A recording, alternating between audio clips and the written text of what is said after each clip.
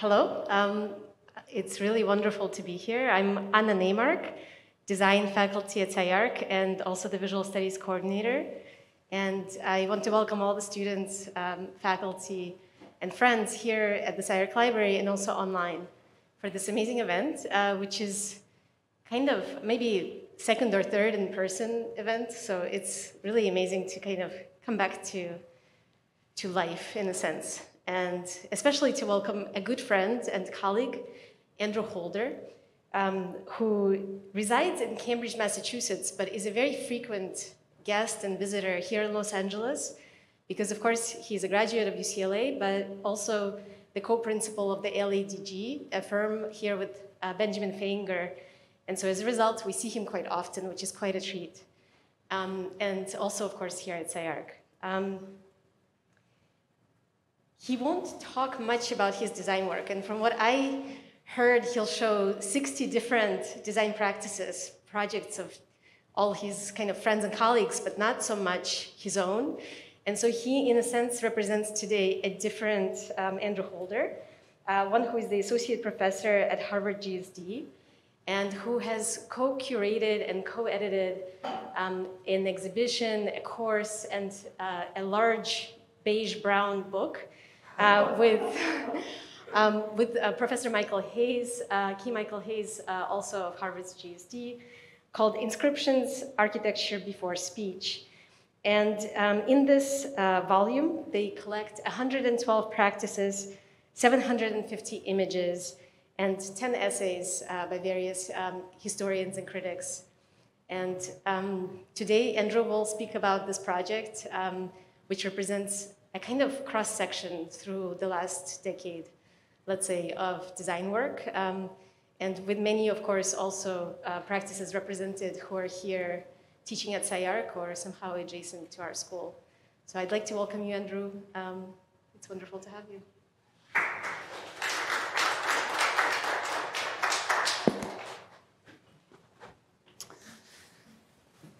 Thanks so much, Anna. Um, it's a delight to be here.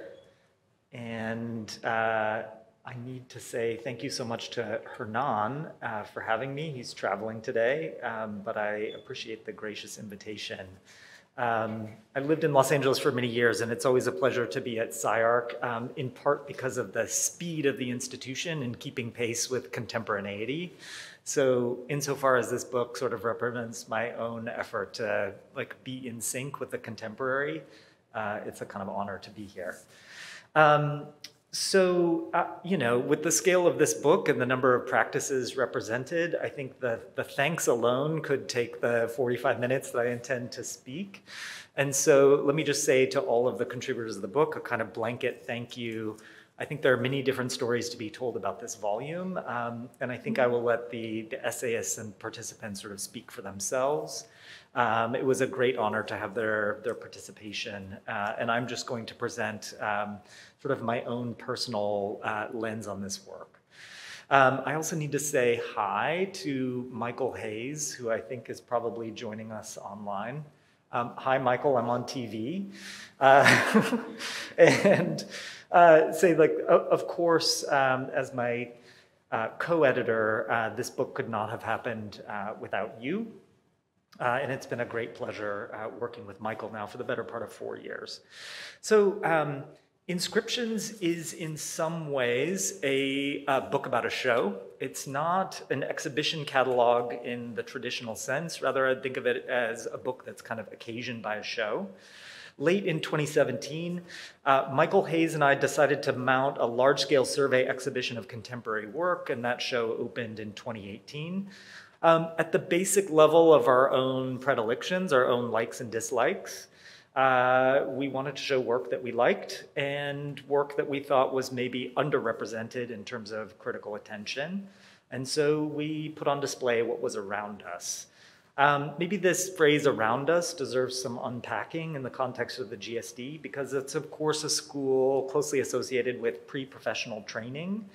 Um, but as such, the lines that separate it from other kinds of practice uh, are sort of acutely present. Um, and so we were interested in a class of practitioners who might designate themselves as emerging.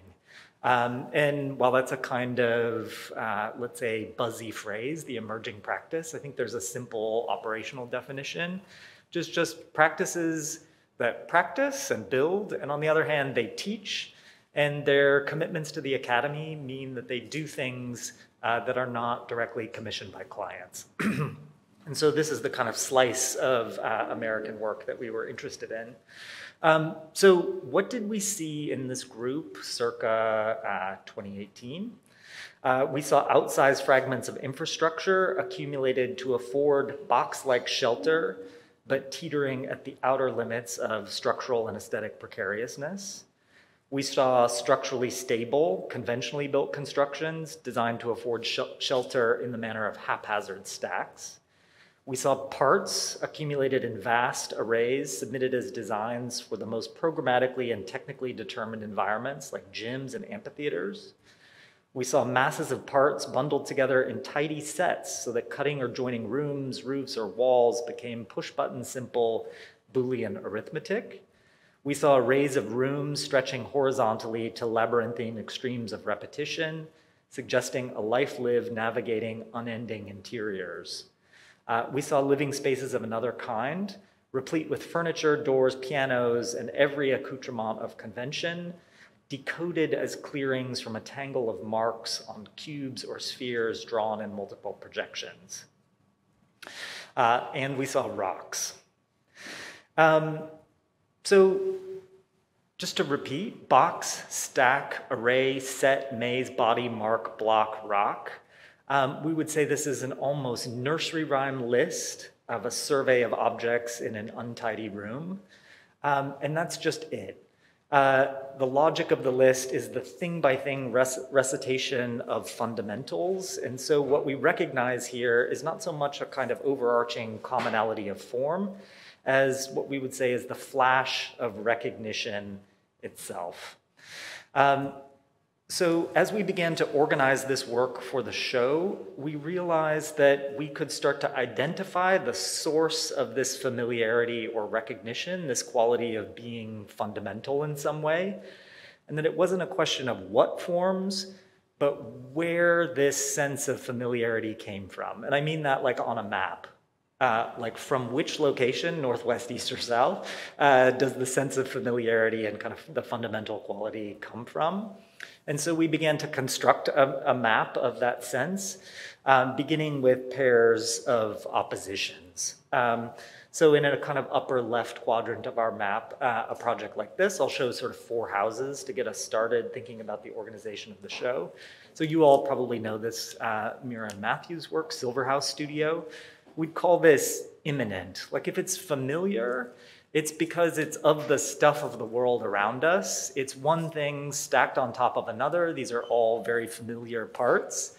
Uh, and they belong to the here and now and to the stuff of sort of present worldly gravity. Um, opposed to this would be, for us, a project like this. Um, I'm sure all of you know this, A House by Freeland Buck. What makes this familiar is not at all its kind of situation and everyday gravity, but in fact, its affiliation with a totally different kind of space altogether. This comes from the realm of idealities and from the mind. Like wherever cubes are located on the map, that's the same space that would uh, contain a house like this. Um, then we saw a kind of equator. So if the, the first two houses uh, are sort of comprehensible in terms of what a first person observer can experience or absorb, absorb, sort of what goes on in your sensorium or in your mind. Uh, a whole other uh, class of projects, let's say like below the equator in our map, uh, have to do with a kind of relational encounter with something else. And so uh, we came to uh, a set of projects here, sort of typified by Michelle Chang's AB house. Uh, which require a kind of revelation by an architect. They are familiar because we know that an architect will come to the scene and decode this as a house.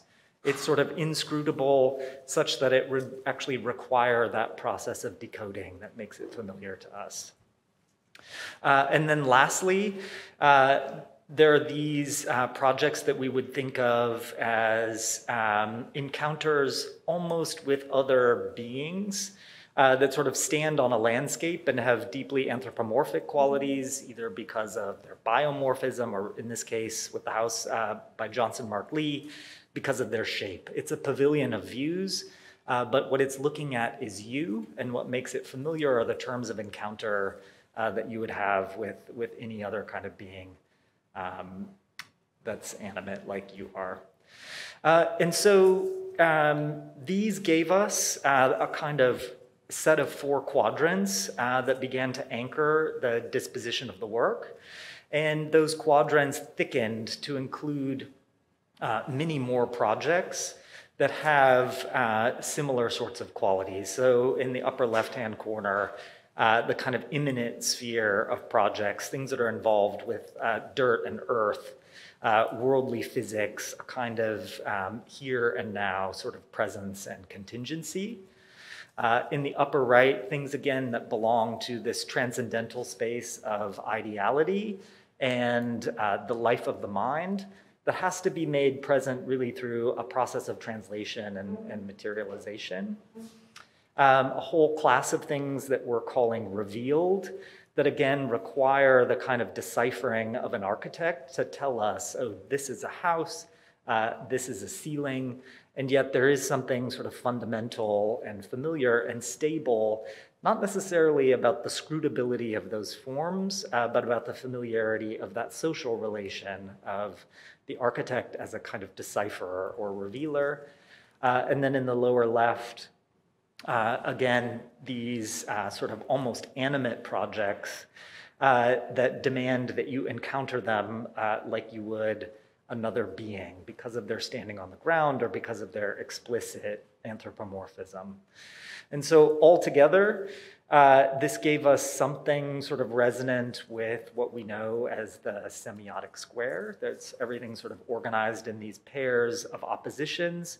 Um, the semiotic square is used by you know, linguists and art historians, or at least was uh, used by linguists and art historians uh, to map out a kind of intellectual closure, let's say the, the total space of ideas between a pair of oppositions.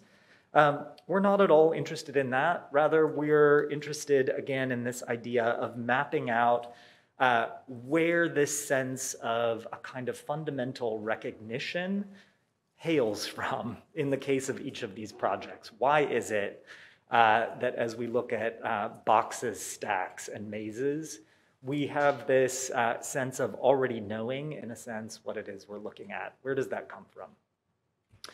Uh, okay, so within each of these quadrants, uh, we decided it was sort of possible to further group uh, the projects in sort of loose centers.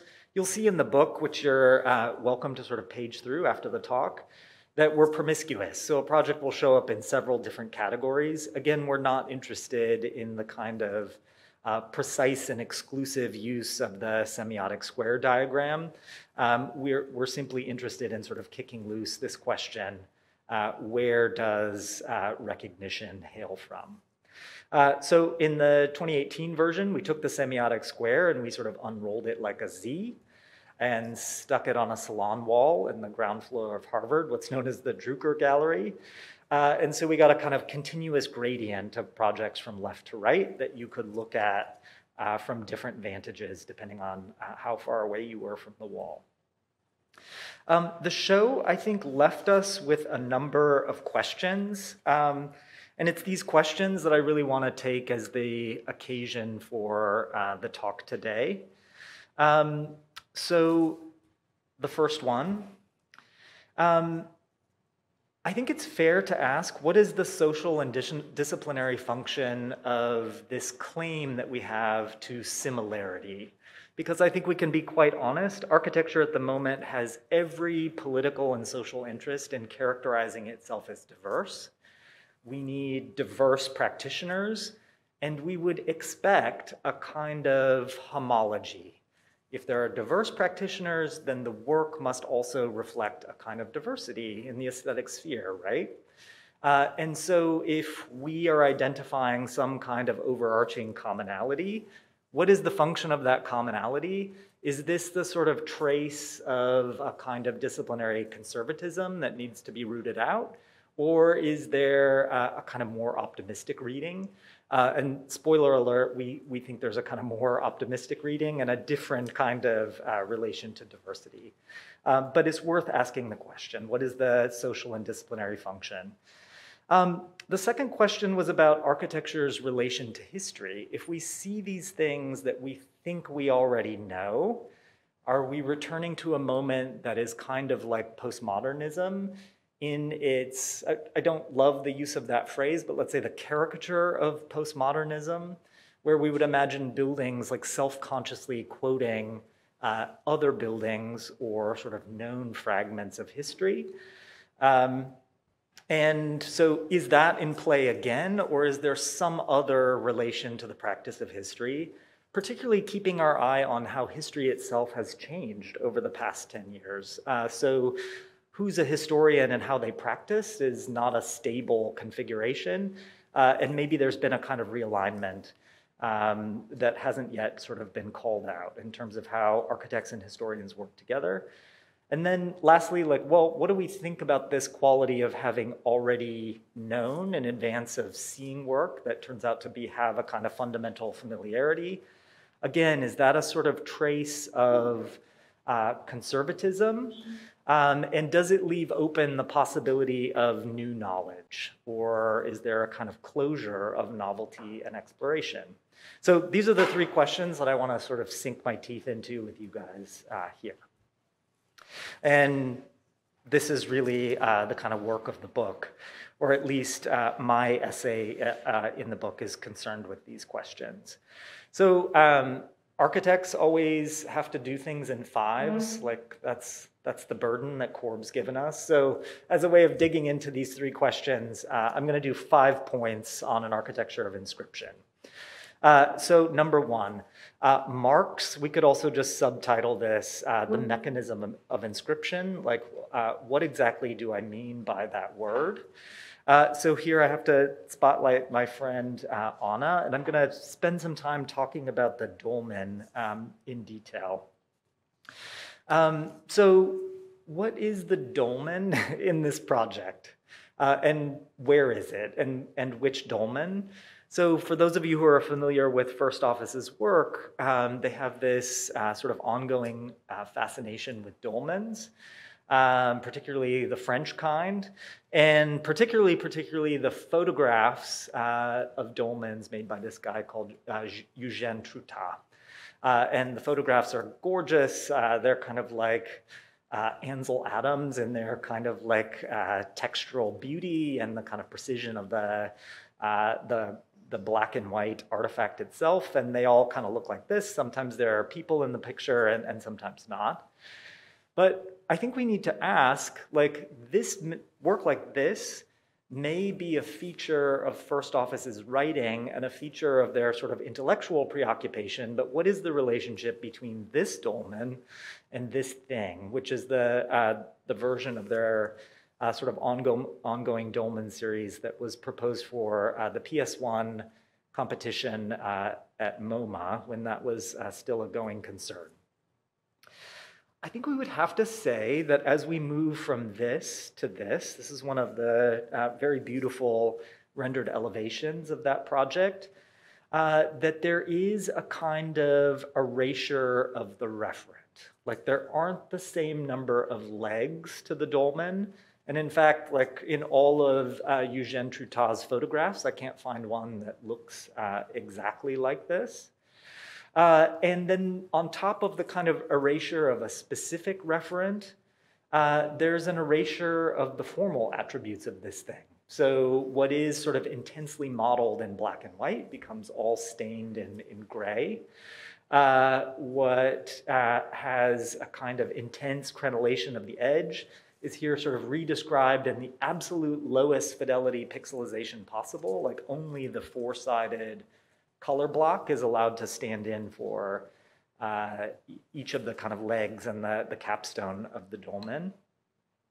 Um, what is here for me uh, is a kind of emptiness. Um, so the relationship between this and this, uh, for me, hinges on the little shims and rotations uh, in this box. They're more visible here in plan.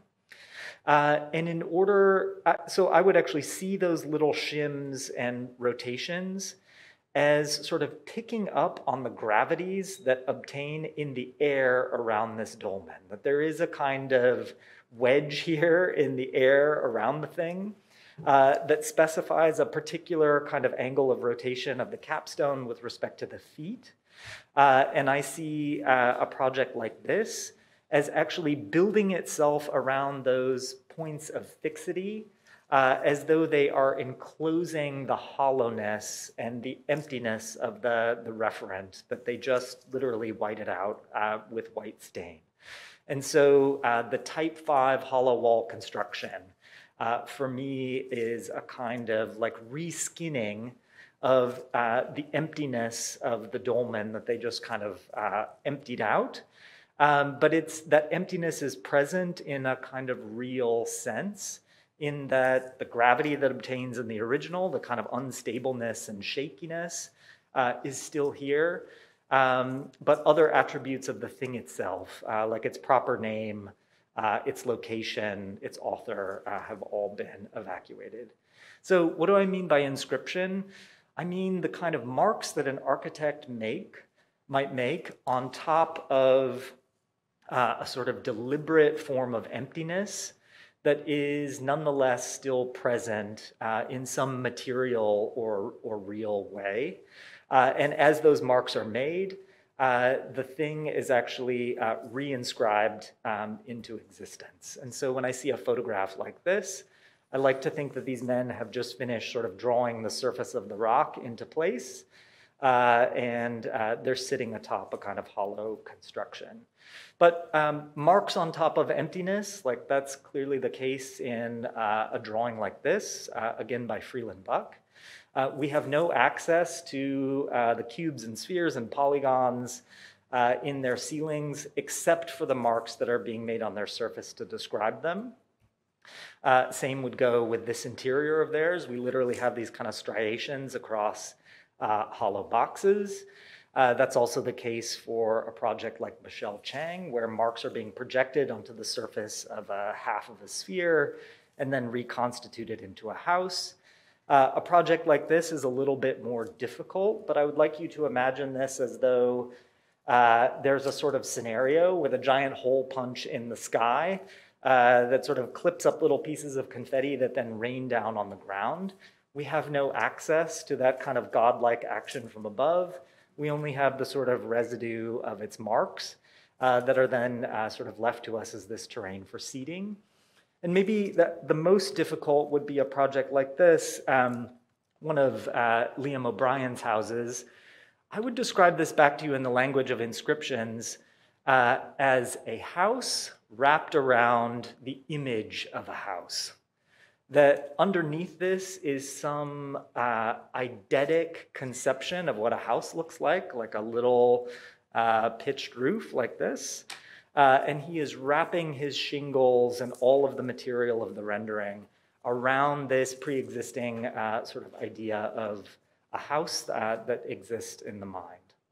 Uh, maybe then we would say a project like um, Sean Canty's here uh, does Liam O'Brien one better in that it's not only a kind of eidetic house in elevation, but he's then wrapping this around the hollow core of a courtyard between the two lobes of this house. Okay, so inscription, uh, again, I mean that quite directly and materially uh, as marks on top of a hollow or kind of deliberately empty substrate. Um, the second here, point here is about the qualities of that substrate. Um, I'm going to call uh, the dolmen and all of those forms of emptiness that I just invoked uh, originals kind of get to the why of that a little bit in, in just a few minutes. Um, but that's the word we use in the book. They're all called originals. And if you look at our nomination of the uh, semiotic square, you'll see this word original uh, appears over and over again as we're again trying to describe where this sense of familiarity comes from. Originals are interesting to us, not necessarily because of their form, but because of the kind of task that they agree to discharge or the thing that they say to an audience um, that they're going to do. Hang on.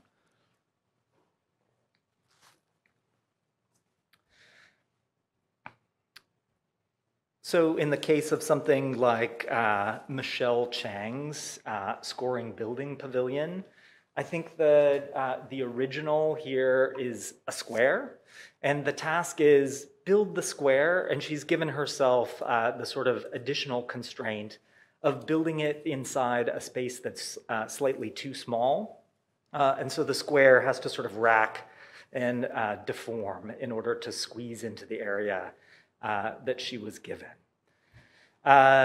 Uh, we might also say that uh, the original is the task in something like uh, Paul Preissner's um, ferry terminal. Um, he has two of them, and I can't remember uh, the title of this project, uh, but one of his two ferry terminals.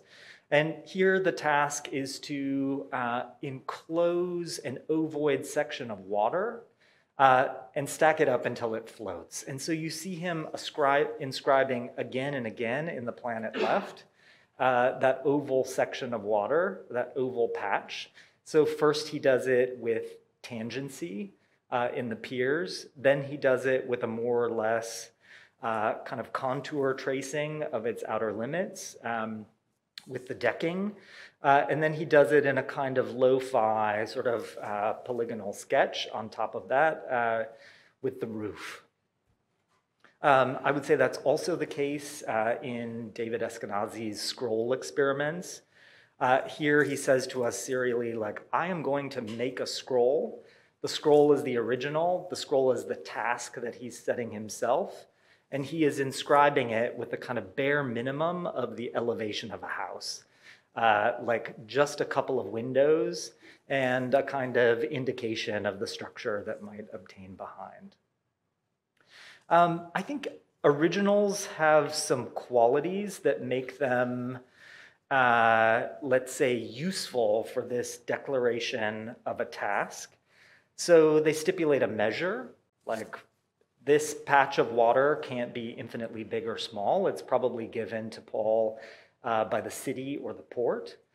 It is physically intelligible to its audience. So it's not a highly abstract or sort of uh, abstruse task that's being given. Uh, instead, it's something that is legible to the audience in almost physical or manual terms.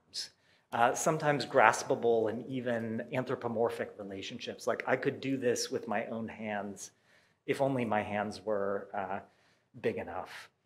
Uh, and then I think it also stipulates a kind of form of constancy.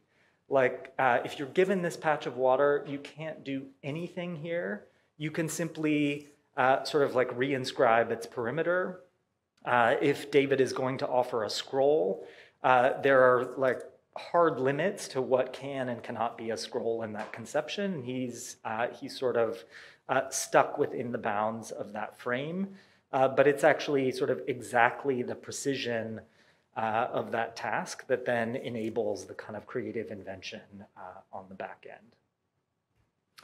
Um, so I think we might say that uh, originals are as tasks and as a thing to be done or an agreement uh, to do something that's uh, made with an audience is different than other kinds of let's say, persistence over time that architecture has dealt with in the recent past. So it's not this kind of smooth embryonic growth that we may have expected of, let's say, something like the parametric project.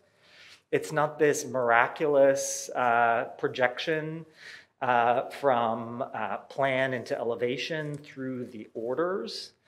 Uh, it's certainly not type in the sense that there's some underlying or perfect unification of form and program that sort of endures over the passage of centuries.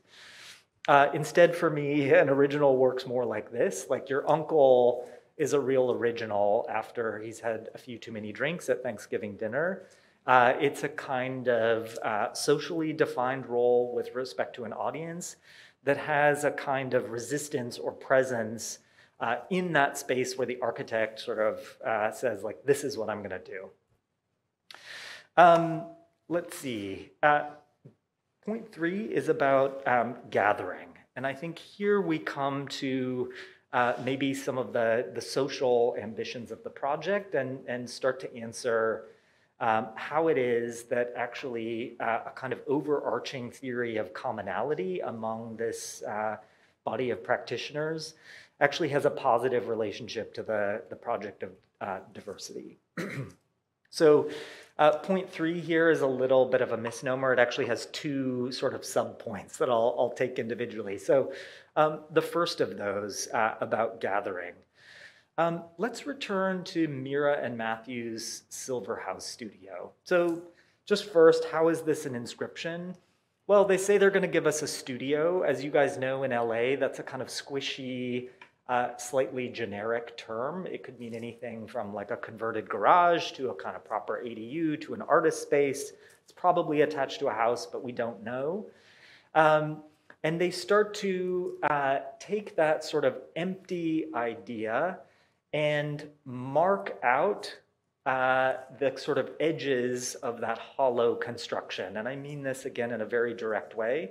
So it's measured from the inside by a kind of uh, column grid with uh, what I assume are sort of lap joints uh, that connect uh, the horizontal to the vertical in there. That accounts for the kind of slight offset of the two. And then they drape it uh, from the outside, and it's kind of double draped. First with uh, this sort of quilted batt insulation, and then again with uh, light gauge steel framing that's kind of holding the batt insulation in place.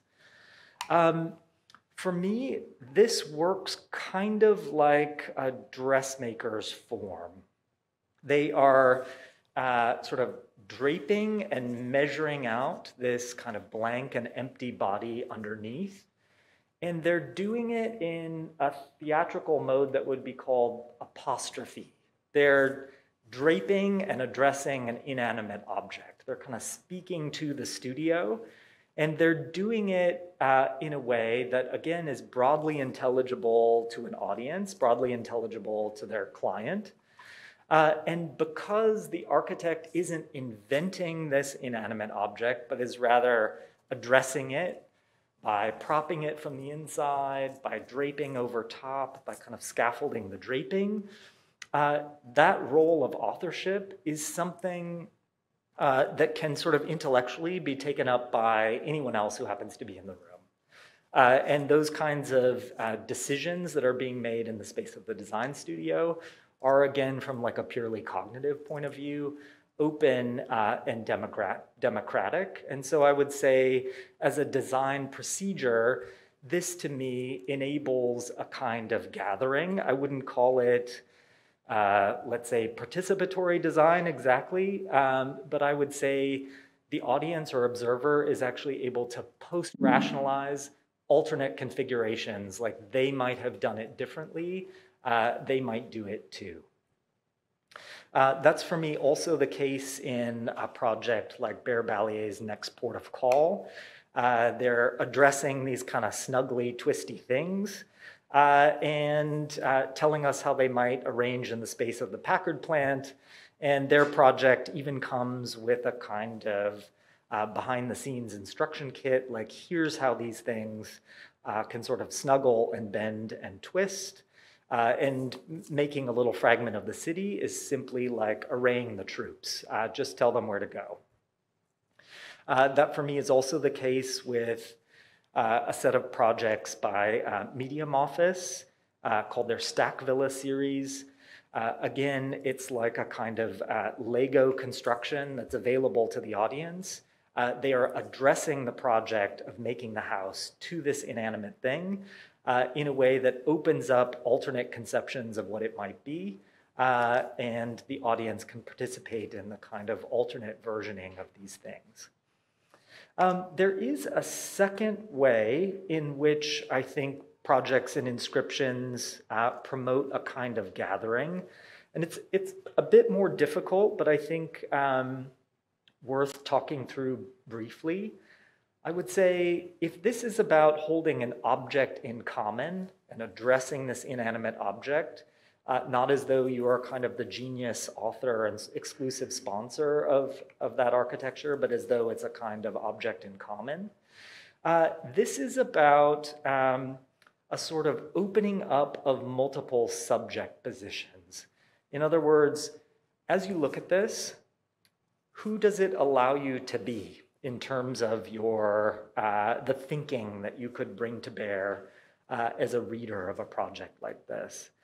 Um, and what's interesting to me about uh, these projects of inscription that are always intensely involved with a kind of evidencing of the manual mark making on top of the, the surface of the original underneath uh, is that uh, as you read them after the fact, your readership starts to collide with the stuff of construction uh, and it offers you a kind of uh, foothold in the procedures of construction. So uh, if I'm looking at this elevation as a sensualist, uh, the screws uh, and the kind of like over determination and the over securement of the plywood panelization to uh, the stick framing underneath, all these little dots are screws. It produces in me uh, the impression of albedo or a kind of uh, modeled reflectivity of that surface. Uh, for the organizational analyst, uh, the hollow cavity construction uh, produces feet-like rooms uh, partially enclosed by a hollow plenum atop. for the spectacularist, I might pay attention to the kind of residues of gravity that are still on the scene even after they've taken away the original uh, referent of the dolmen. And the list would sort of go on and on. In a practice like Michelle Chang's, uh, she actually begins to tailor what she calls her specification documents to anticipate one by one the kinds of subjects who might arrive at the scene and become sort of entangled uh, in the constructive uh, accumulation of marks on top of the surface of her project. Uh, okay, four um, on history or uh, like how to use um, shocks and ruptures. So I mentioned earlier that maybe the practice of history uh, isn't a stable thing over time, uh, but in fact changes from year to year. Uh, and I think maybe we have a pretty clear idea of who the historian is uh, circa 2022, or at least the kind of successful academic historian.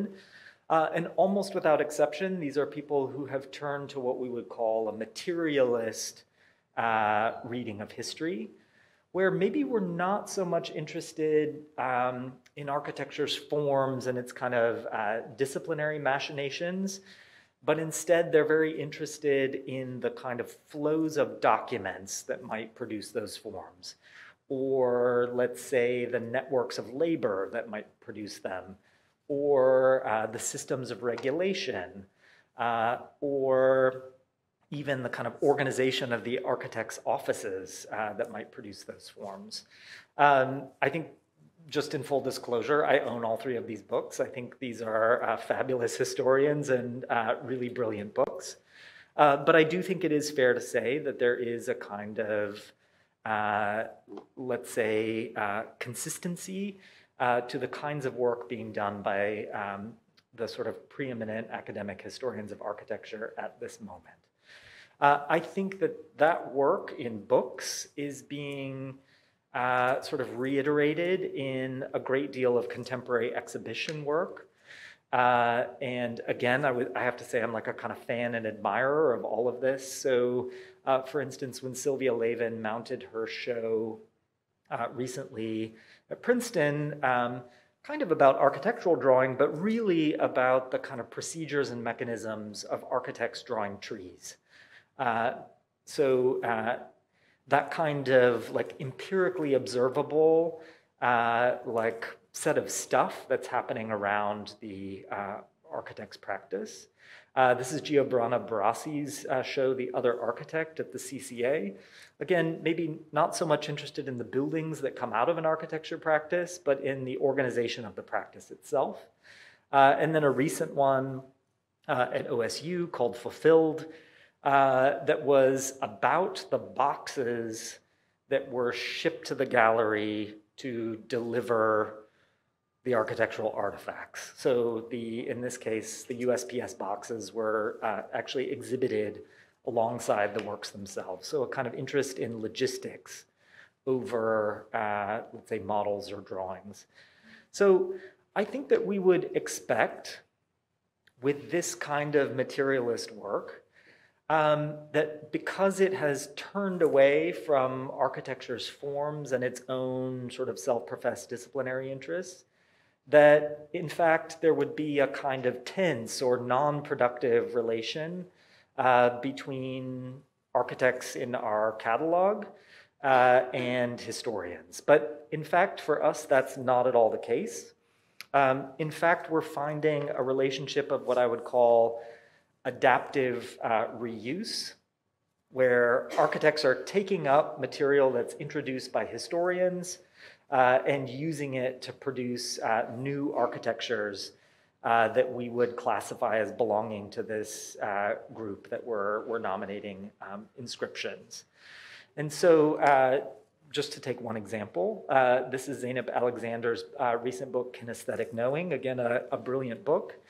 And here she's using these kind of materialist strategies um, to examine the sort of myth that we can feel form, that it the kind of sight of it literally impresses itself on our brain uh, such that we can have a kind of psychomotor reaction to ascertaining form.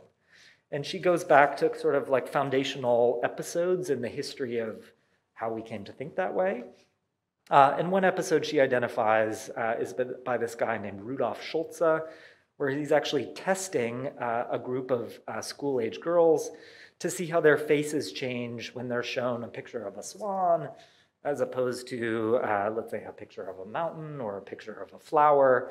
Uh, so here is the kind of stimulating picture of form, and here are all their faces uh, showing us a kind of reaction uh, to that form.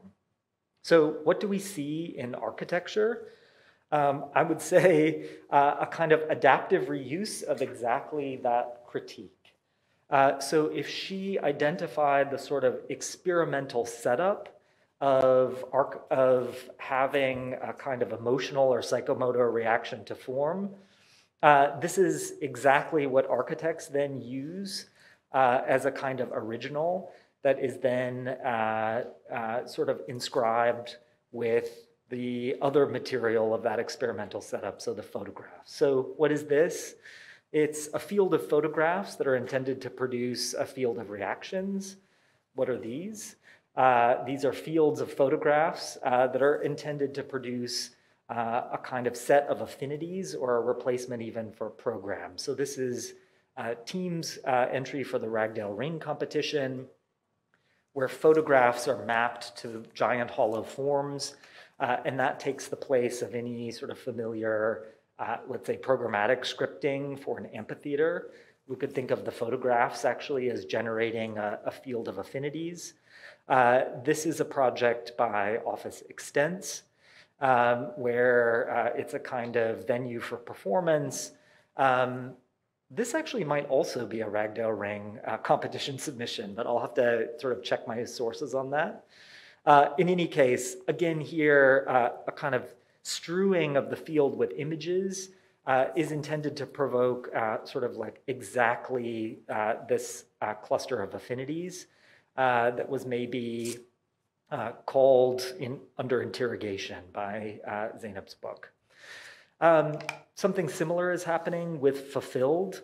So it's a turn of attention to the logistics network, uh, like architecture for this exhibition can happen anywhere between the office and the sort of shipping route that takes the architectural artifact to the gallery. And that's uh, enabled by the material device of the box. Uh, and what do we see everywhere in contemporary architecture? I would say the material device of the box uh, sort of unfolding itself in uh, sort of non-normative conditions that for me are analogous to a space uh, not quite in the gallery uh, and not quite in the space of the studio. okay, um, the last of the five points is about um, doubt. uh, which goes to this question of if we recognize it, is it okay? And if we recognize uh, these forms, um, does that also mean that there is a kind of foreclosure of knowledge, that we're not learning something new precisely because we already uh, recognize something fundamental uh, in the uh, sort of qualities of the work that, that's collected in the book. Um, this warning has been instilled in us in, as architects um, now for the better part of 50 years. Uh, in architecture, we could trace maybe one of the origins of the suspicion of recognition, a kind of hostility to recognition to uh, this guy. This is our pal uh, Manfredo Tafuri. Uh, and so um, our book has a couple of uh, sort of choice Tafuri quotes. Um, where we're uh, sort of like returning to the places in his mini text where he articulates a kind of anxiety about uh, familiarity and familiar forms, uh, really deluding architects into thinking that they've found some form of stable truth, um, when in fact what's happening is that they're ignoring uh, the kind of shocks and ruptures of reality, that they are uh, sort of clinging to uh, a, form of familiarity as a way of ignoring um, the accrual of new knowledge and also maybe ignoring the kind of affective experience that goes along with accruing new knowledge, that it hurts, that, that it's a shock. Um, that position is buttressed by this guy. So um, when Tafuri says that history is felt as a series of shocks and ruptures, uh, you know, that's an almost direct but unattributed quote to Michel Foucault, uh, who says uh, sort of more or less the same thing about the discontinuity of history. Uh, and Foucault, in turn, uh, you know, is in conversation with this guy, Louis Althusser, who just flat out tells us, if you recognize something, it's because you were meant to.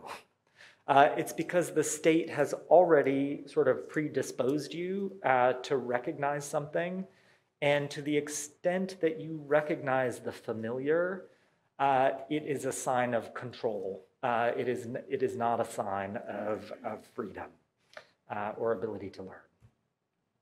Um, and I think we, we beg to differ in this book. Uh, that for us, uh, everywhere we see inscriptions and familiarity, we actually see a kind of uh, non normative posture or uh, a kind of adjustment of convention uh, toward uh, new and novel outcomes.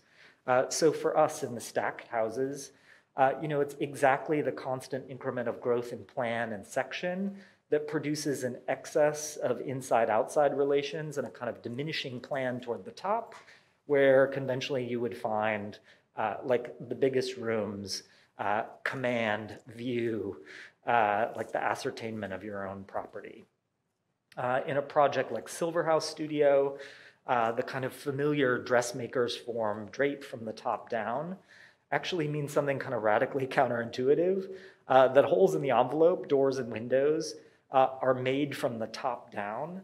and further, that um, every time you get one of those holes, it's a kind of cut uh, that uh, dissociates uh, the envelope from the foundation, uh, even though everywhere else uh, there's a very tight choreography of uh, plan and what you see in the elevation vertically. And in the dolmen, um, I mean, at the end of this project, Anna and Andrew say, um, something that's sort of perfect for our purposes, which is that uh, we don't yet know how to live inside one of these. Uh, we don't yet know how to occupy something where only the feet are rooms. The rest of the free uh, space on uh, the ground is sort of partially enclosed by an enormous hollow plenum that perhaps itself also promises to be a room, uh, but is maybe maybe inaccessible uh, depending on the design of the project. Uh, and so for us, uh, in each of those three instances and in all of the projects in the book, uh, familiarity And the reinscription of that familiarity is exactly the means by which uh, convention uh, and, let's say, normative forms of knowing are undermined. So for us also, the, the form of the book would aspire to work in much the same way. So you're welcome to page through the book here in just a few minutes, but uh, it's big and it's got a kind of complex organization. So uh, we sort it into categories, exactly like the sort of unrolled uh, salon wall. Um, but we do it several times from lots of little pictures on a page uh, and then working up in several steps to just one image on a page. Again, where uh, this kind of uh, stable uh, sets of zooms in are inscribed by this uh, unruly image content uh, that sort of at every turn threatens to sort of overflow the categorical descriptions that uh, we put forward. And so I'll just close here with what's actually the closing paragraph uh, of the introductory essay. uh, the exceptions and jitters of this book are setting into orbit authors and schemes around ideas that are foreign to their professed positions is itself a demonstration of an alternative political commitment. Our translation of the gallery wall into the pagination of theme and the zoom into chapter divisions uh, does not guarantee a consensus, but the book form does provide a prospect from which multiple critical vantages can be joined in a collective exactly around the subject matter of their doubt. This is Inscription's promise. First, the ability to gather, disperse, and regather in the mode of doubt for which knowing and familiarity are not the signifiers of retrograde nostalgia, but indications that stable forms of agreement can be made without surrender to unseeing belief. Second, that the practice of architectural history, uh, the practice of architectural history uh, can reform a relation with architectural futurity by allowing design to convert uh, shocks and blind spots into the raw materials of mobilization. And finally, a transition in discourse from subject formation to plurality formation, from the private encounter of the reader with text to, to the projection of new multitudes around designs, forms in common, and architecture before speech. All right, so that's what I've got, and I'm going to turn it over to these guys for some questions.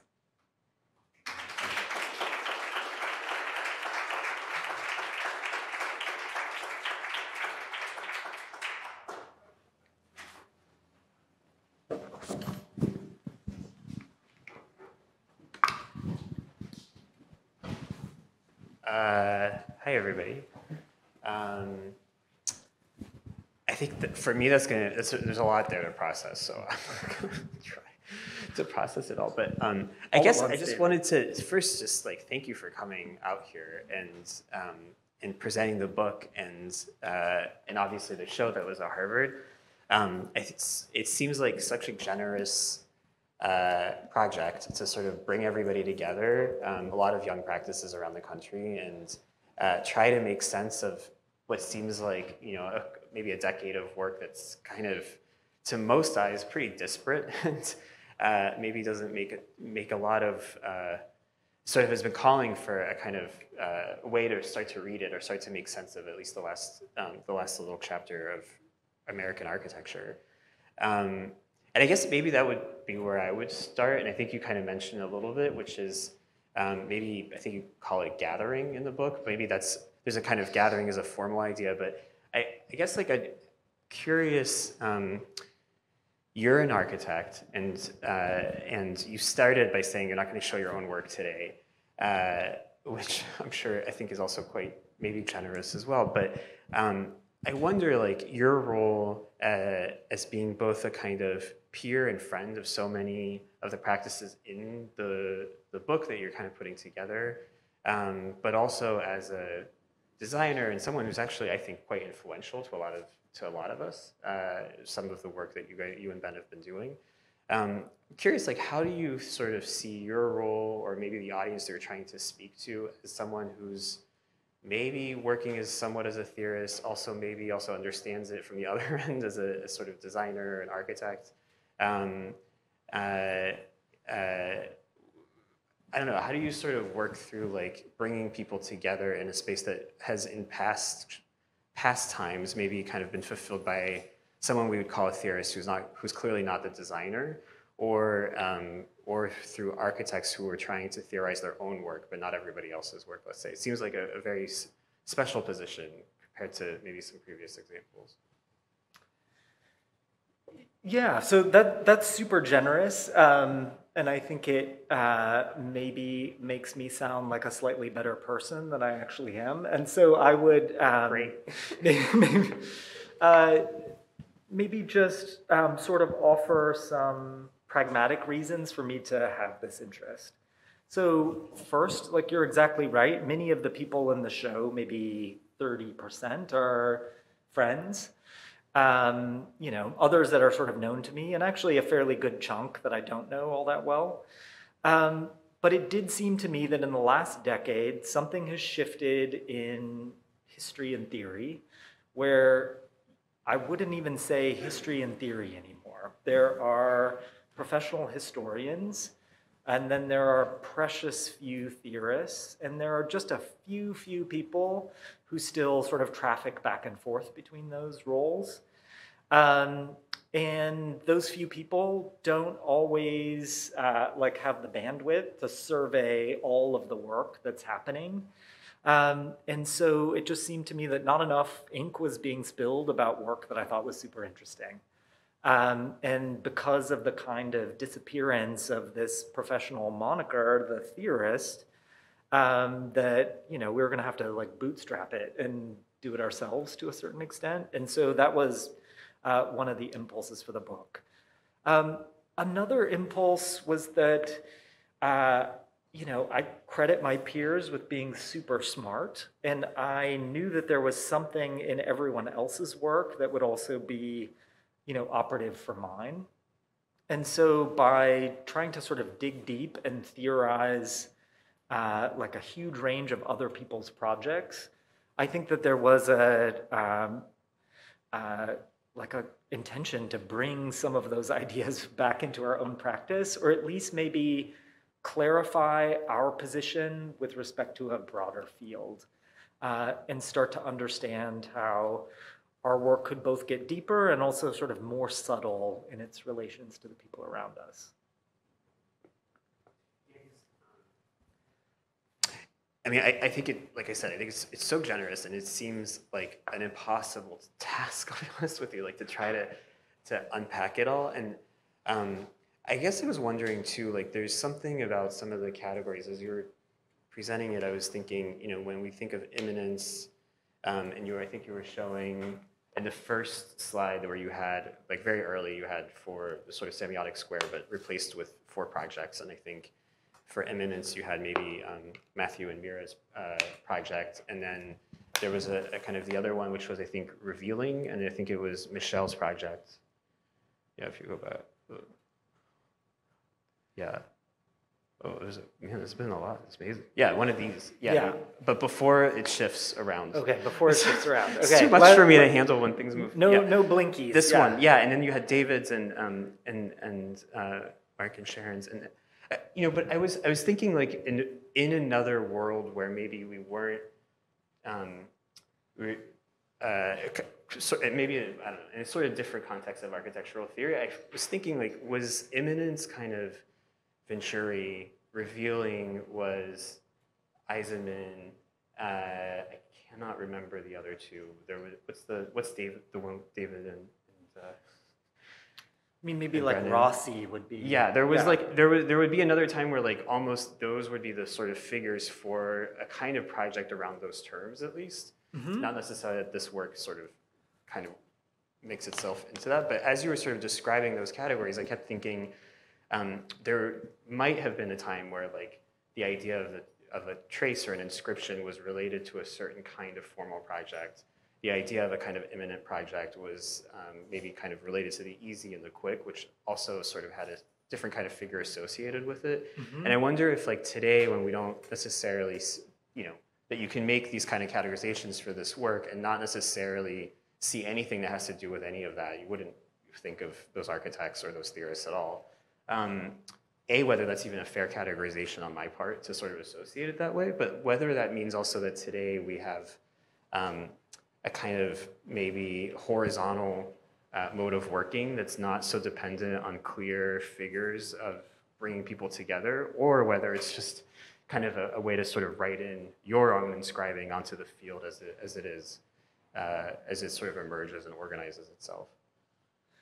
Uh, so with respect to the last point, um, the kind of horizontality of the field, um, I would absolutely agree with you. Like, these practitioners have almost all produced projects that could easily go in another square, working in a kind of different mode, uh, which just suggests uh, like the sort of wide availability of some underlying mode of thought. And so for us, the kind of promiscuity of the projects, like all orbiting what seemed to be a pretty familiar set of categories, um, again, is a sign of, uh, I, I don't want to use these words, but I don't know which other words to use, a kind of like structural continuity just underneath the level of what you see with your eyes. Like they're working in the same way and thinking in, in similar ways. Um, and it's useful for us to start to like set up correspondences between practices that might not otherwise imagine themselves as, as affiliated. I'll follow up on that because I was thinking that the book, and we'll pass it around, uh, I, guess maybe after I, I ask the question, I'll pass it around. Um, it's really about pictures. It's a lot of images and visual things.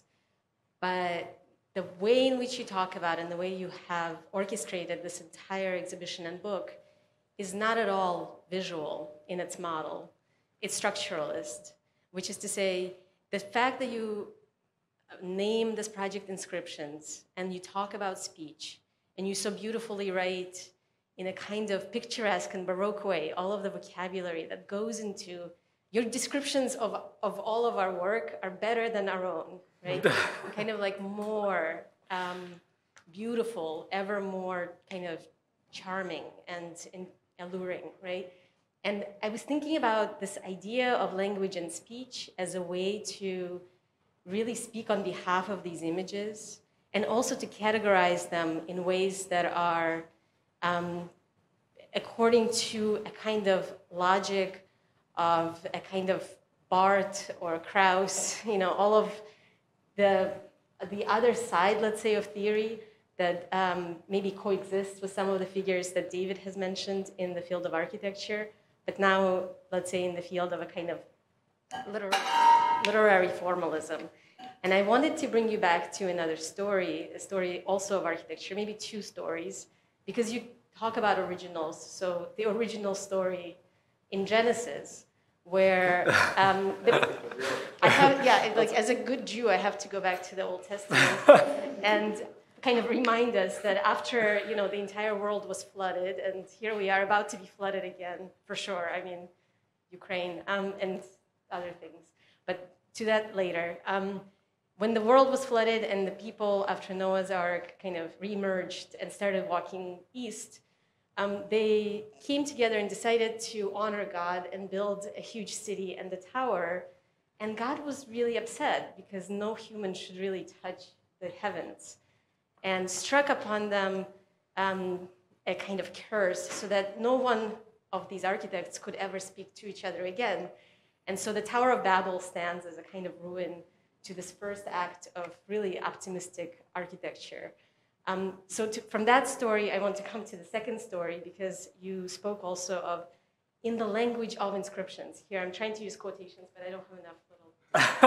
um, what is this language of inscriptions? It's like you're reproducing a new kind of set of terms, and every time you use the term that we thought we knew, you actually had to recategorize it and redefine it so that we would more accurately use it in the future.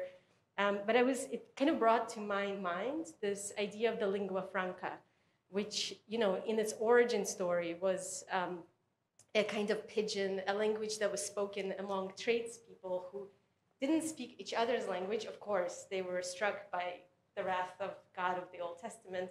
They couldn't really speak. But in order to produce a kind of trade between each other, they thought of this lingua franca as a way to communicate. And so I'm curious whether this um, beige brown volume is a kind of lingua franca um, for all of us architects who have fallen off Babel, Babel's tower and no longer know how to communicate with each other and are in need of um, someone who can kind of teach us the next, the next, the next way.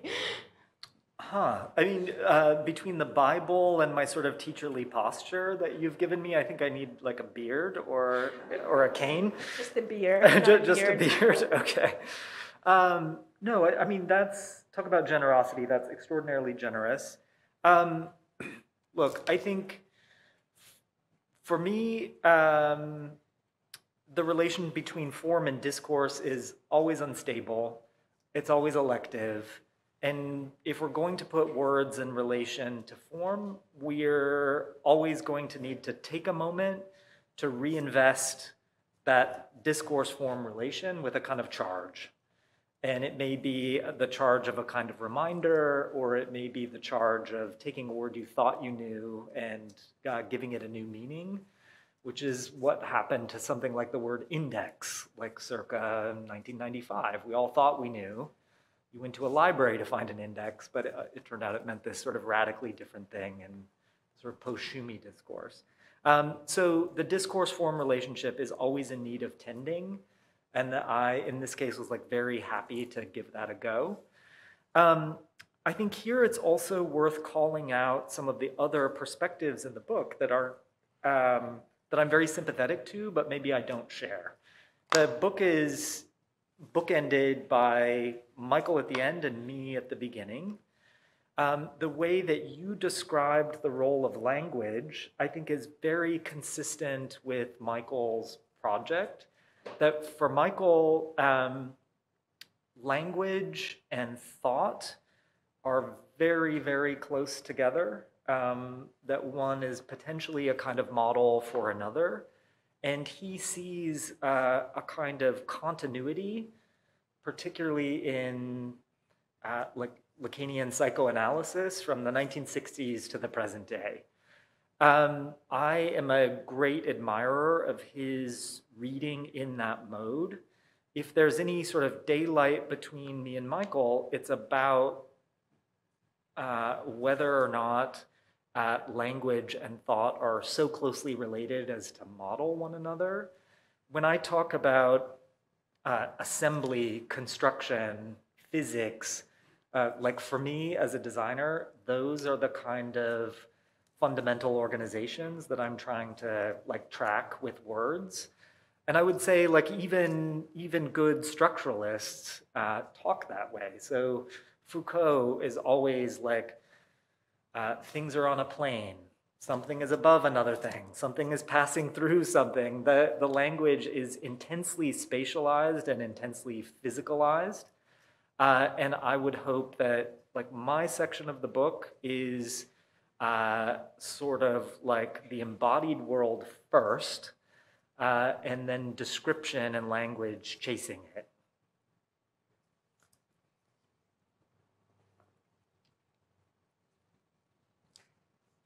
I want, I want to also ask if anybody in the audience would like to ask a question.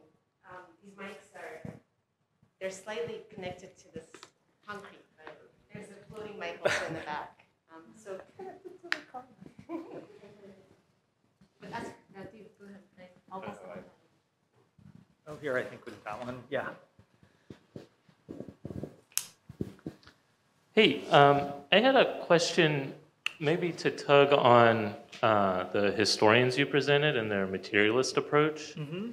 And I would say what is apparent from what you shared today, a kind of absence of a materialist approach in the theorization of the book. Mm-hmm. Um, so I would imagine that a kind of materialist approach would have to confront what you said at the beginning, that most of the architects are not just practitioners, but that in some way their practice is also subsidized by their role in academic institutions. So I think maybe related to that fact, I'm curious um, if you think, or I'm wondering if the book says more about how we teach architecture than how we build. Um, yeah, so for me, it's impossible to hear that question without immediately putting it in like the space of political economy. So when you say uh, teaching subsidizes the practice, like I would take exception to that. I would say like activities in both spheres are equally valid, and it's up to the architect to decide the relationship between them.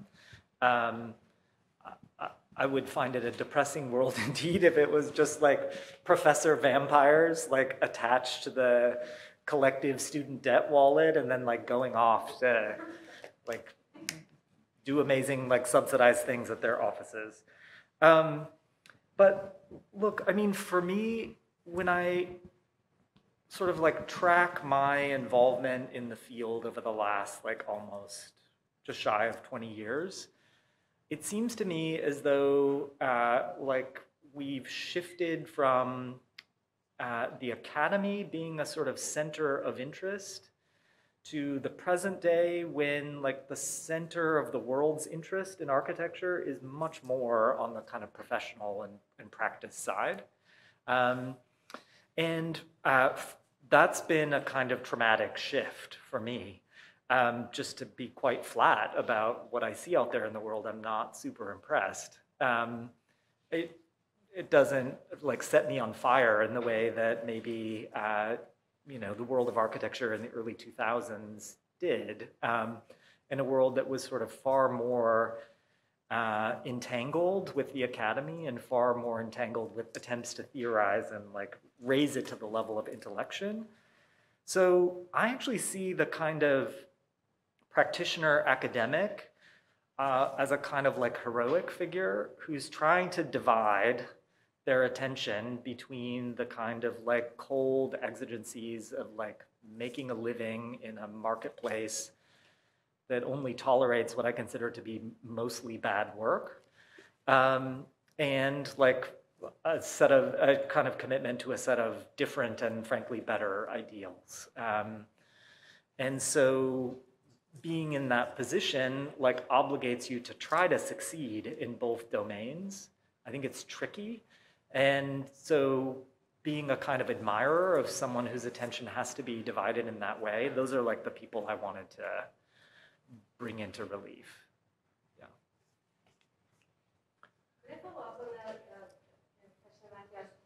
Uh, um,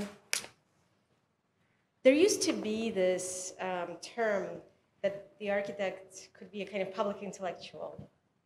Um, and I want to kind of come back a little bit to your undergraduate experience, maybe as a, someone who studied political science. Um, and one, this is maybe a more critical kind of question. Um, do you think that maybe these are a bunch of private intellectuals?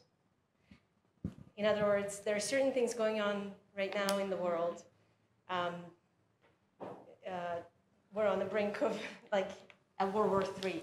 Mm. And none of these architects or projects, um, you know, obviously including ours, are dealing with that issue and are speaking about that directly.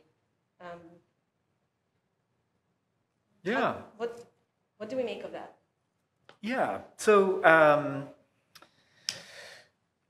you know, this is uh, like a common criticism of, let's say, architects of the generation that's heavily sampled in the book. Um, like, where do we see your value systems like evidenced in the work, and uh, particularly like your political awareness and engagement?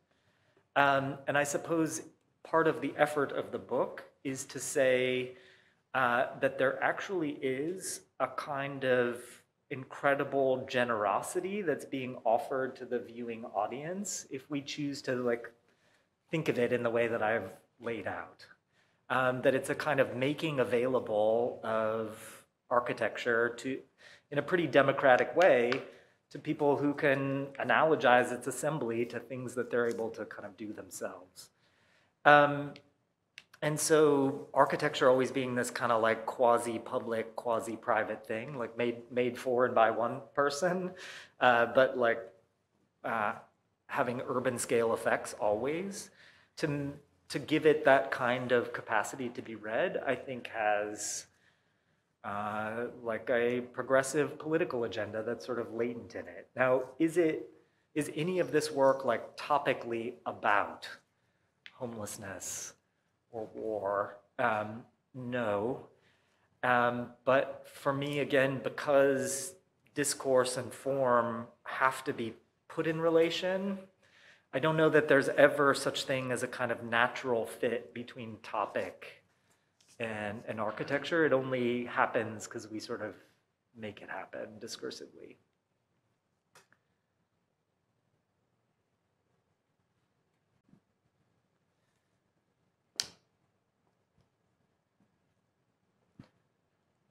Should we have a drink? Should we have a drink? so I'd like to um, thank you, Andrew, uh, for this wonderful presentation. Thank you, David, and everybody who is here. Um, thank you for coming. We have a reception outside um, following this event, so please join us uh, for a drink. Great. Thanks, you guys.